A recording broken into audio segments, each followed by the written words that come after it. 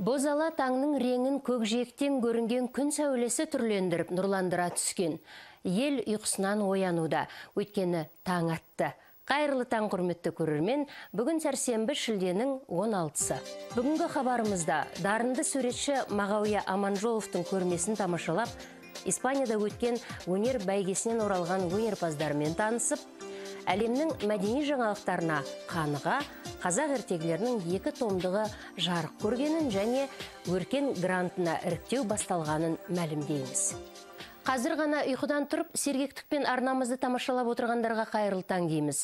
Енді 16 шілденің еншісіне тиген маңызды оқиғаларға келсек. 2001 жылы Еуразия ұлттық университеті кітапханасының негізінде отырар кітапханасы ғылыми орталығы құрылғаны бәріміздің есімізде. Ал 2005 жылы Ақтөбе қаласындағы Абай атындағы Гүлзарда темірғазық рәміздік белгісінің ашылу рәсімі өтіпті. Темірғазық жұлдызы ертеде жолаушыларға қазақ таласымен жүрген керуендерге жол көрсететін белгі болған. Гүлзар бақта орналасқан темірғазық белгісінде жаһанның төрт бұрышы, қаланың географиялық мәліметтері, Ақтөбенің әлемнің ірі қалаларымен ара қашықтығы көрсетілген. Құрметті көрермен, жаңа күн сәттілік әкелсін. Қайырлы таңның сазды сәлемін өздеріңізге тарту етеміз, қабыл алыңыздар.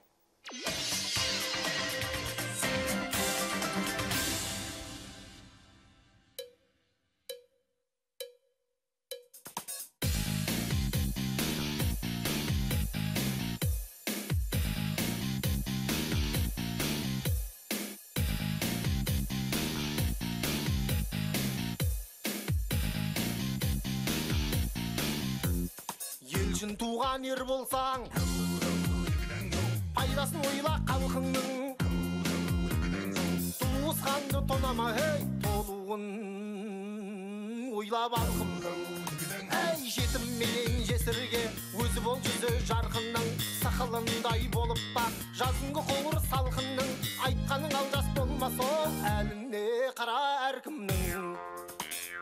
Айтқаның алдас болынса келмейді басын нарқыңның шамасынша қайыр қыл атау азат дәрпіңнің көшіңді көптен ірікпесең күшейер көркау әлпіңнің.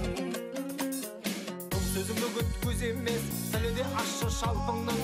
Отырмын айтып жақсы көп тазасындай алтынның. Өледе қалсам айтарсыз.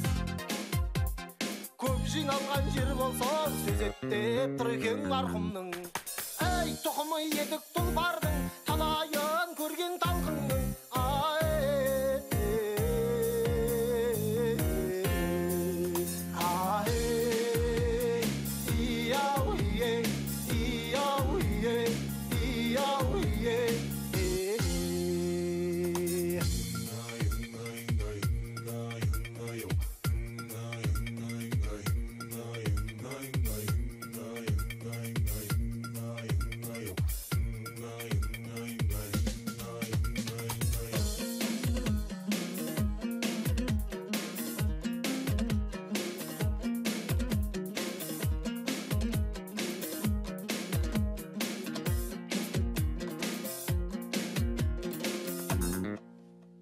сөзім үгіт өз емес.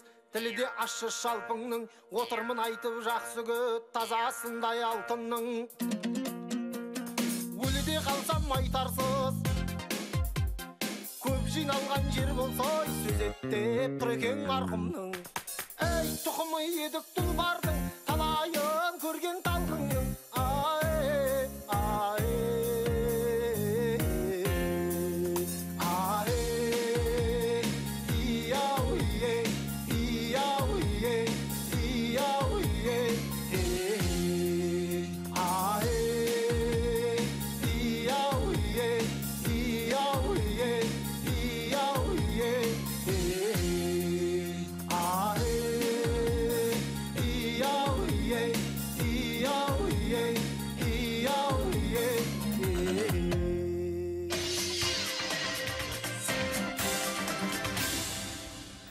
Құрметті көрермен, таяуда Алматының Әбілхан Қастеев атындағы мемлекеттік өнер мұражайында айрықша көрменің ашылу салтанаты болып өтті.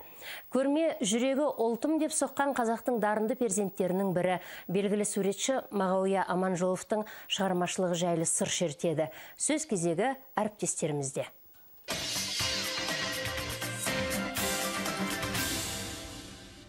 Көкжиек деген ұғым болмайды тек кеңістік қана бар деп сенген суретші мағауия аманжоловтың туғанына 65 жыл толуына арналған көрменің тақырыбы да шексіздік деп аталды. Бәлкім өзі де осы шексіздікке бет алған қылқалам шеберінің туындылары мемлекеттік әбілхан қасиев атындағы өнер музейіне қойылды. Осыдан 20 жылға жуық уақыт бұрын өз шеберханасынан шығып бүгінге дейін із түссіз кеткен мағауия аманжоловтың бұл жүздесуде өзі болмаса да туған туыс жора жолдастары оны емірене еске алып әсіресе қазақ бейнелеу өнеріне қосқан үлесін атап айтты. Шынымен ақ өмірінен гөрі өнерімен ел есінде қалған суретшінің картиналары жан жақты. Терең ойлы талант иесі портрет пейзаждан бастап үлкен сюжеттер мен картиналар тіпті триптихтерге қалам тербеген. Жылқылар уақыт үстемдігі сынды туындылардан суретшінің философиялық идеясы мен бояу қанықтығын көрсек әке жолы тарихи кезең дала дидары атты ұштағандары арқылы автордың шеберлігін тануға болады.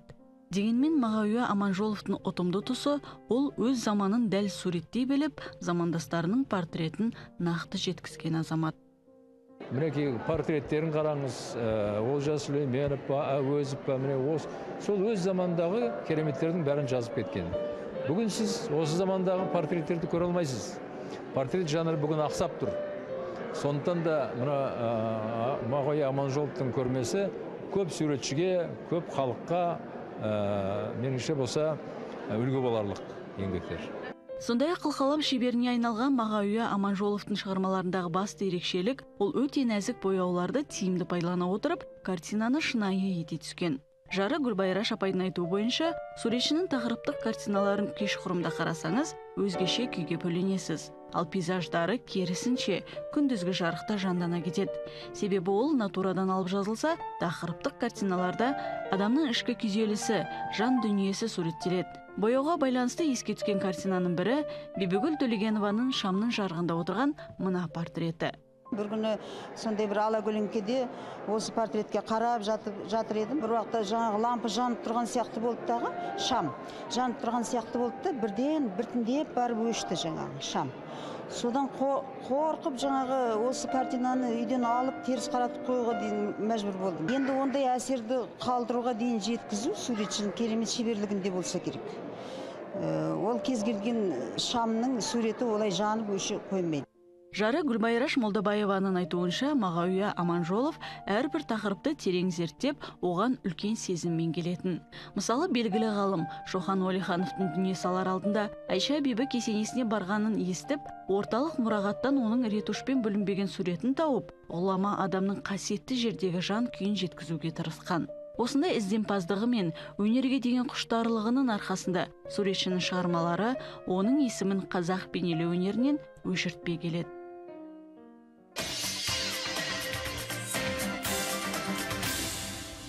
Жақында Испанияда айрықша дауысты вокалистердің халықаралық байқауы өтті. Орындаушылық шеберлік пен тума талантты ұштастырар өнер додасынан оралған күміс көмей әншілер жайлы әріптесіміз тарқатады.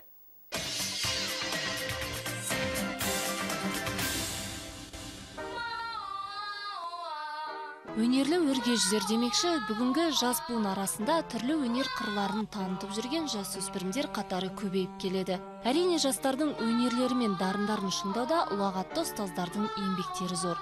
Жуырда италия елінде өткен халықаралық байқауда вокал номинациясы бойынша гран при иемденген әсет балғазин. Жасы небәрі 11-де болғанымен кәсіби музыкамен айналысып келе жатқанына үш жыл болыпты. Өткен жылы мен дипломант болып едім. Сол кезде өз алдыма мақсат қойдым. Лауреат немесе гран при аламын деп. Осы жылы мен екі рет лауреат болып ә, испанияның конкурсында гран при алдым. Өз алғысымды ата анама мақсат аға және қарлығаш апайға айтқым келеді. Және де вокалдан беретін әнші апайыма айчүрек сүлейменоваға білдіргім келеді. Олардың үміттерін ақтаған шығармын деп ойлаймын. Әсеттің дайындығы композитор әрі продюсер мақсат жәутіковтің тамшылар атты орталығында өткен. Кеше ғана келген испаниядан әсет деген баламыз оның жанында жаңағы бірге әріптестері бар юра деген баламыз одан жаңағы үлкенбай айгүл үлкенбаеваның шәкірті домбыра ә, халықтық аспаптан ол баламыз бірінші орын алды юрамыз екінші орын алды. Э, әсет баламыз гран при алған кезде қуаныш, қуанышымызға шек жоқ.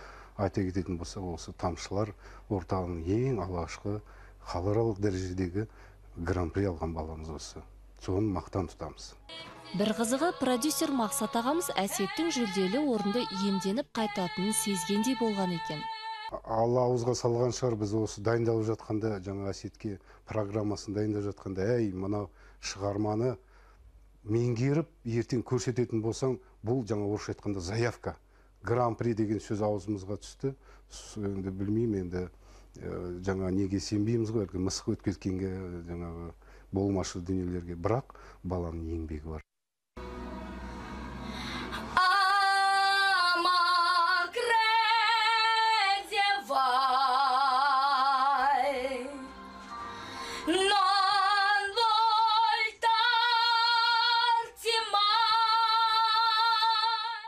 Өте керемет өте шексіз Ә, мен ойлаймын келешекте осы диапазон ол жоғалтпайды. Және де дауысында ә, кішкене қоңыр дауысты бояулар бар. Сондықтан да келешекте ертең ә, драм тенор болады деп ойлаймын. Үлкен сахнада көрінеді деп ойлаймын. Жас әнші бұл сайыста Андрея Бачелидің «Амокра Дивай», Еркеш Сәкеновтің «Родина моя» атты хит әндерін орындап шыққан. Көптің ішінен қара үзіп шыққан әсет өз әсерімен бөлісті. ол жерде өте көп өте мықты ә, қатыс- қатысушылар болды Ә, мен бірінші келгенде сасып қалдым бірақ өзімді қолыма алдым да сахнаға шықтым Жас дарын иесінің алар асулары алда екені сөзсіз, биік шыңдардан көрінеді деген ниеттеміз. Guarda fuori già mattina. Questo.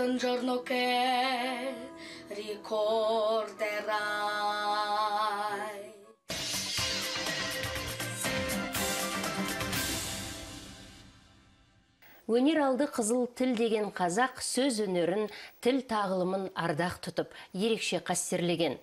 Поэзия мен жаны егіз көшпенділер дүниеге келген сәтінен жырдың әуеніне елтіп өскен. Соның әсері болу керек тарихи жырлар күні бүгінге дейін жоғалып кетпей ұлттың асыл қазынасына халықтың игілігіне айналып отыр.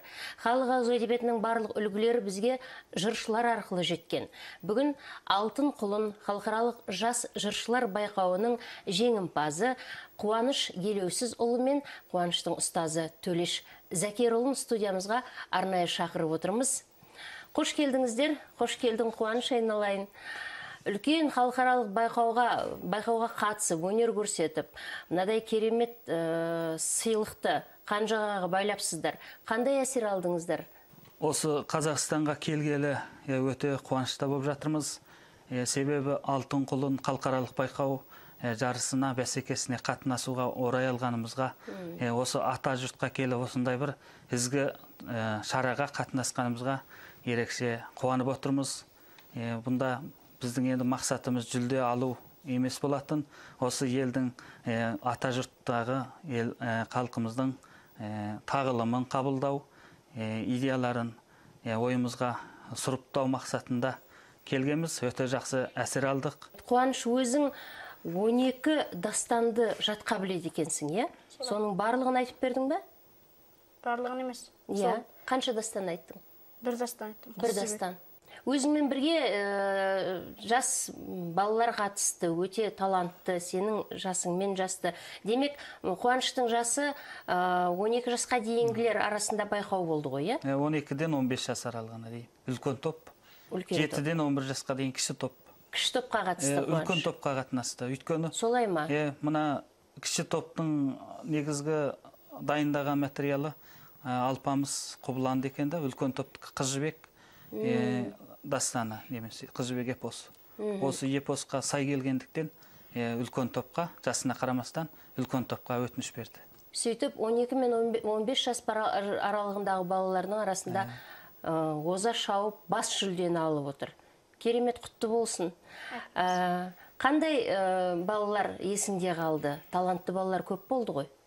Е, мына қазақстанның астанадан келген ә, кәмшат ә, одан кейін ана қазақстанның шығыс қазақстаннан келген ә, тоғжан деген балалар өте мықты екен маған жақсы әсер қалдырды.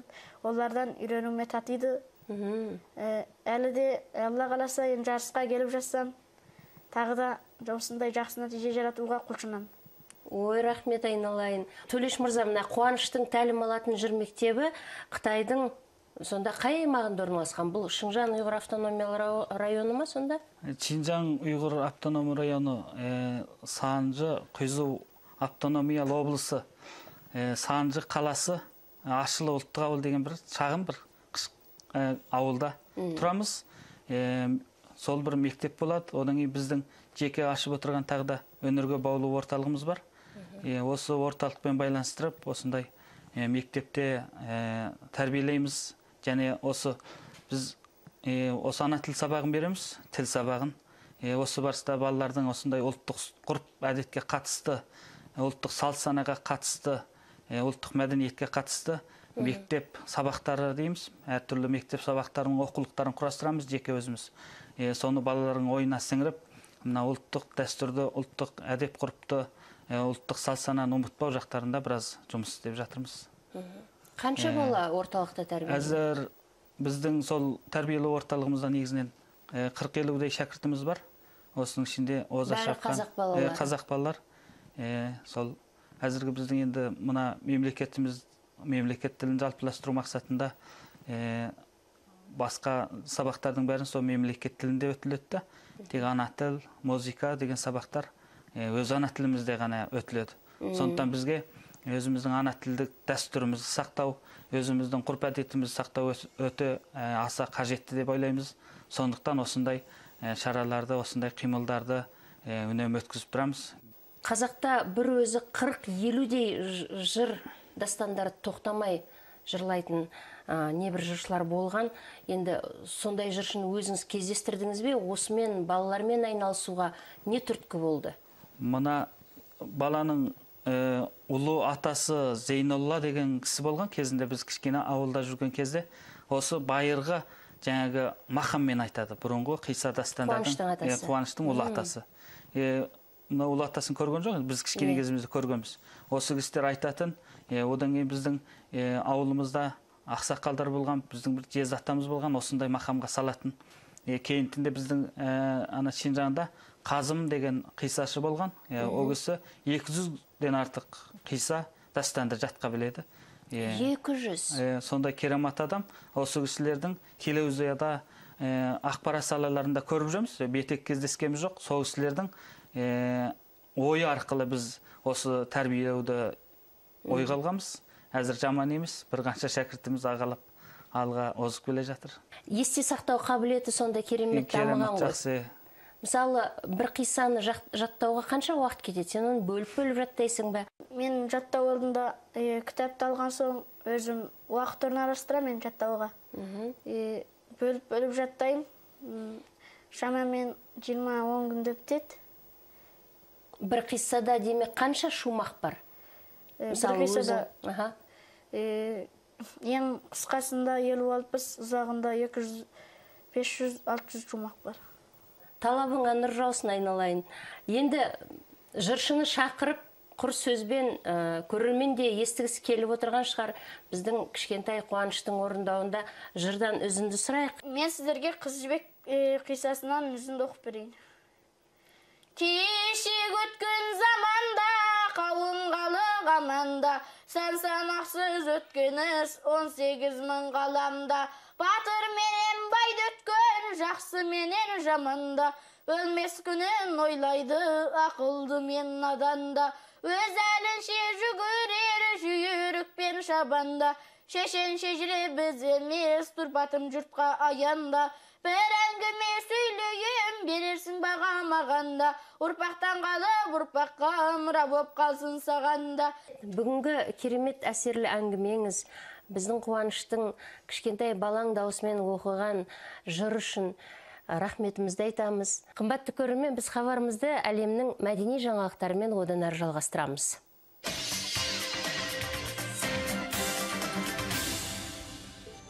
болашақта мыңдаған туристерге керемет көріністі бақылау мүмкіндігі ашылады деп санайды world view enterprisers компаниясының мамандары. Аризоның бастамашыл тобы екі жылдан кейін адамдарды алып шарларға отырғызып ғарышқа ұшыруды көздейді. Мұндай жоспарлар туралы олар алғашқы сәтті өткен сынақтан кейін жария етіп отыр. Тест кезінде ұшу қауіпсіздігі сақталып шардың дұрыс қонуы бақыланған. Жобаның техникалық директоры тейбер мак колумның айтуынша сараптамалық жұмыстар жоспарлы түрде ұйымдастырылды. Тесттік ұшырылым жаман болған жоқ. Біз ұшыру кезінде әр минут сайын мәліметтер қабылдап отырдық. Ауытқулар болған жоқ дейді. 2016 жылы компания коммерциялық ұсыныстар қабылдауды жоспарлайды. Гели толтырылған алып шарлар екі пилот және алты жолаушы орналасқан капсуланы 37 шақырымдық көкке көтеру тиіс. Аспанда аппарат шамамен екі сағаттай болып кейін жерге оралады. Мұндай экскурсияның құны 75 мың долларға бағаланып отыр.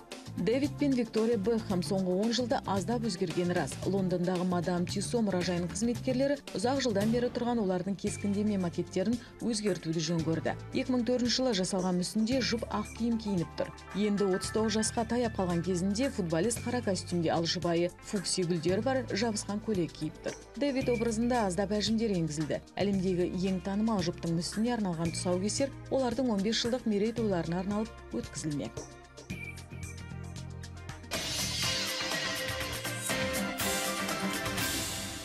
Құрметті көрермен Алматы кітап баспасынан қазақ ертегілерінің екі томдығы жарық көрді.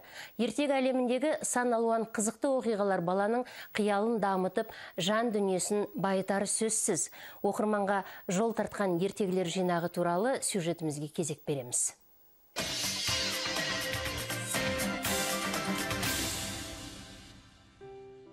ертегі фольклордың негізгі жанрларының бірі болып табылады сондықтан ертегіде оқиға желісі барынша тартымды етіліп көркем түрде баяндалады.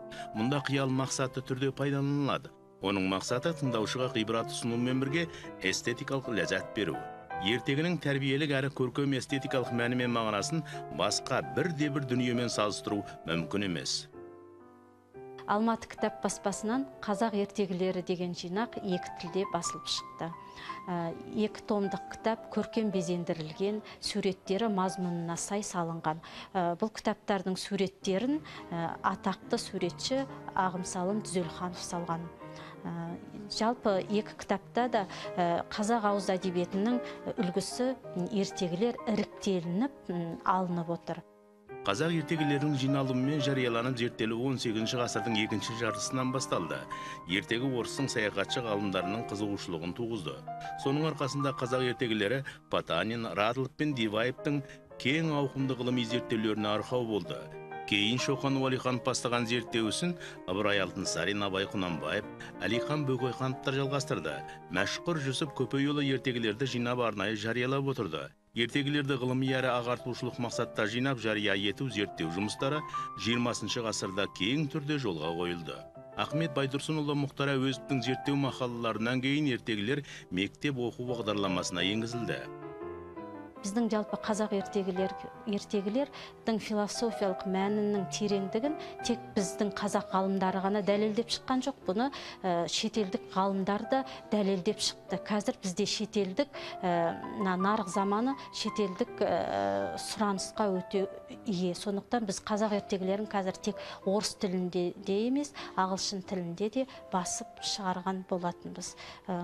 Жаңағы жәрмеңкелерге халықаралық жәрмеңкелерге барған кезде әсіресе осы қазақ ертегілері өте көп ә, сатылып кетеді. Бұның өзі біз үшін мысалы қуаныш өйткені біздің ауыз әдебиетіміздің тек қана өзіміздің жерімізде ғана таралып емес барлық әлемде таралып мысалы классика болуына мысалы бұл жол ашылды деген сөз. Алматы кітап баспасы 10 жылдан бері балаларға арнап ертегілерді түрлі жинақта көркем безендіріп басып шығарумен айналысып келеді. Ертегі баланың қиялын дамытуға тілдік қорын байытып ой өрісінің кеңеюіне тікелей ықпал етеді.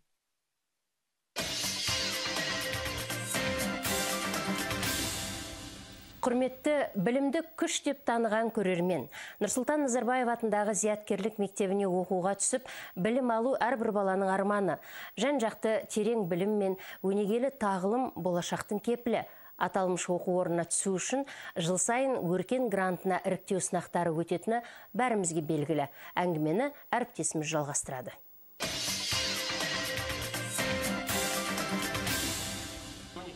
Заманауи техникамен жабдықталған жаңа мектеп оқушылар игілігіне. Осындай ұранмен алматы қаласында физика математика бағытындағы назарбаев зияткерлік мектебінің тұсауы кесілді. Мектептің салтанатты ашылуына өркен білім грантының иегері атанған мектеп оқушылары олардың ата аналары сондай ақ өңірдегі ғылыми педагог қызметкерлер шақырылды.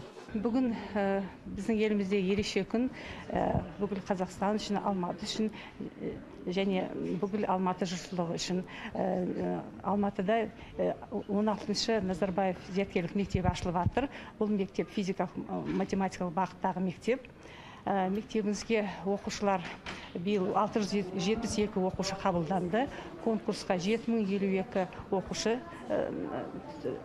қатысты.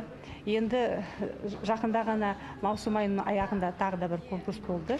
Мектептің жетінші сыныптарына оқушылар қабылдау бойынша. Енді күзде тағы да 96 оқушы күтіп отырмыз. Сонымен күздің күні 768 оқушы болады деп күтудеміз. Зияткерлік мектепте балаларға физика химия робот техникасы заманауи әлемдегі қазақстан кабинеттері оқу телестудиясы кітапхана акт залы бар. Колин лоуэр инновациялық оқу жабдығын таныстыру көпті қызықтыра түсті. Зертхананың ішінде невис ілме коммуникациялық жүйесі газбен электр қуатымен сумен жарықпен және интернетке қосылуды қамтамасыз етеді. Мұның барлығы оқылып жатқан материалды меңгеруде көрнекілік пен тиімділікті береді дейді мамандар. Жаңа мектептің соңғы үлгілерімен салтанатқа келген оқушылар да ата аналар жақын танысуға мүмкіндік алды. Мен ойлаймын мысалы осы назарбаев зияткерлік мектебіне түсетін сынақтың шынайы өткенін айта кетуім керек. Себебі балалардың дайындықтарына несіне қарай жаңағы балалар сынақтан өте қиналды деп те айта аламын. Бірақ жаңа сынақтың қиын болғанына қарай оның шынайы болғаны бізді өте сондай ризашылыққа әкеліп соқты. Назарбаев мектебінде оқуға деген талпыныс кез келген баланың оқуға деген ынтасын арттырады деген сенімдемін. Осыдан ақ біз бізге көптеген жағдайлар жасалған және біздің қазақ ну және біздің елдің бізге көптеген мүмкіндіктер жасап жатқанын көре аламыз және біз біздің елбасының үмітін ақтауға тырысамыз. Айта кетсек осыдан бес жыл бұрын астанада алғашқы зияткерлік мектептің негізі қаланды. Қазір республикамызда осындай 16 мектеп жүйесі бар. Былтыр яғни 2014-2015 оқу жылдарына конкурстық іріктеу шарасы өтіп 7052 өтініш қабылданды.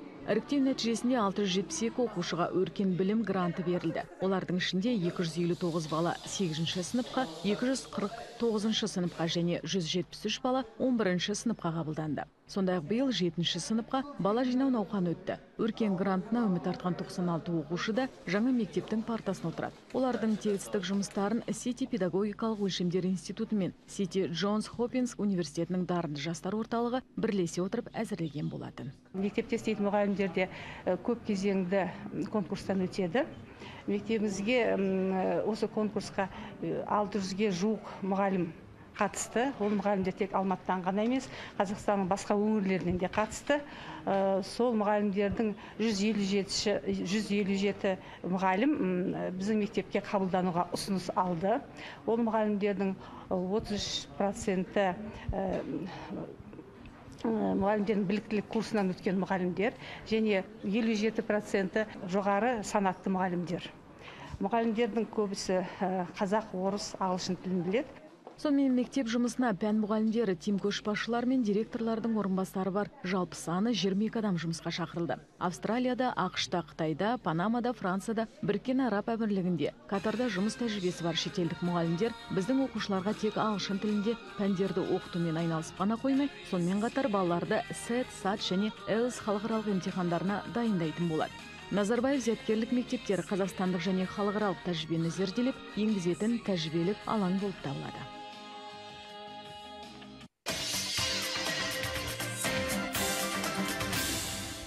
Міне тағы бір жаңа күн басталды. Әрбір күннің өзінің қуанышы, жақсылығы, жаңалығы болады. Олар адамға жаңа міндеттер жүктейді. Сондықтан әрбір атқан таң жақсылыға келсін дейміз. Біздің таңғы жүздесуіміз осымен аяқталды. Эфирде келесі кездескенше аман сау болайық ағайын.